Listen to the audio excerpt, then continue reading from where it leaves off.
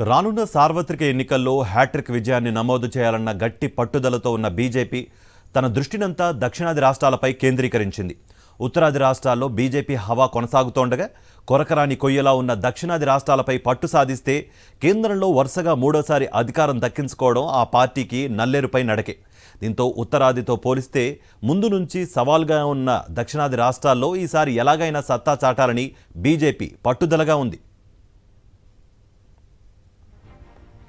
కేరళ తమిళనాడు కర్ణాటక ఆంధ్రప్రదేశ్ తెలంగాణతో పాటు పుదుచ్చేరిలలో కలిపి మొత్తం నూట ముప్పై లోక్సభ స్థానాలు ఉన్నాయి రెండు వేల ఇరవై నాలుగు సాధారణ ఎన్నికల్లో వాటిల్లో ఎనభై సీట్ల సాధనే బీజేపీ లక్ష్యంగా పెట్టుకుంది.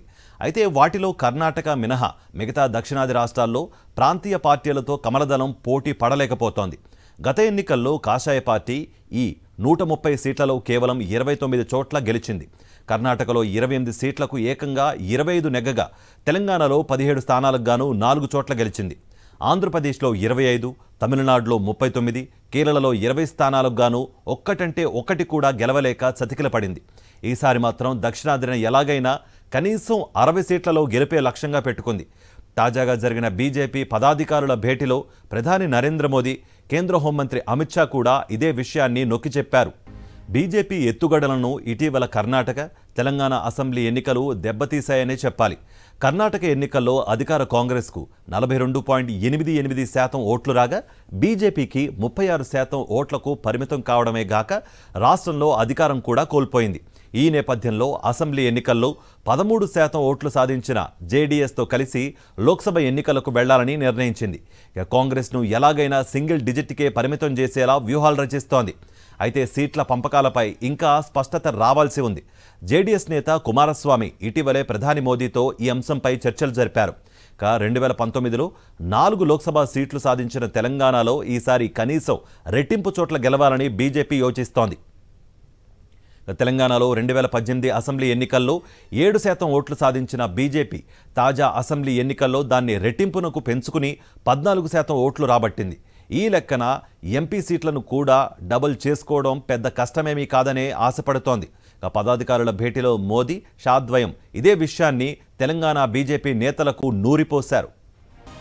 కేరళలో వామపక్ష సంకీర్ణ కూటమితో తలపట్టం బీజేపీకి పెద్ద సవాల్గా మారింది.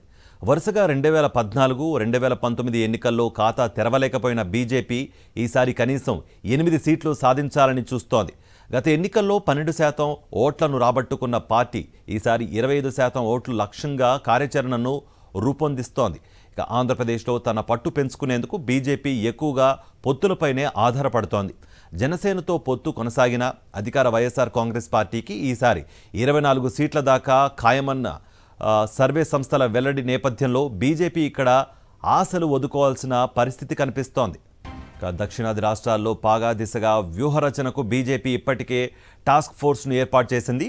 పార్టీ జాతీయ ప్రధాన కార్యదర్శి సిటి రవి ఉపాధ్యక్షులు బైజయంత్ పాండా దిలీప్ ఘోష్ లాల్ సింగ్ ఆర్య ఆధ్వర్యంలో ఉన్నారు. రాష్ట్రాల వారీగా పార్టీ పరిస్థితులను అంచనా వేసి దానికి అనుగుణంగా గెలుపు వ్యూహాలను అధిష్టానం సిద్ధం చేసింది.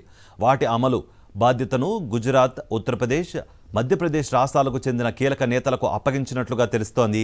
యూపీ నేతలు కేశవ్ ప్రసాద్ మౌర్య సునీల్ బన్సల్ స్వతంత్ర దేవ్ సింగ్ గుజరాత్కు చెందిన పన్నేస్ మోదీ విజయ్ రూపానీ సేవలను కూడా వినియోగించుకోనుంది.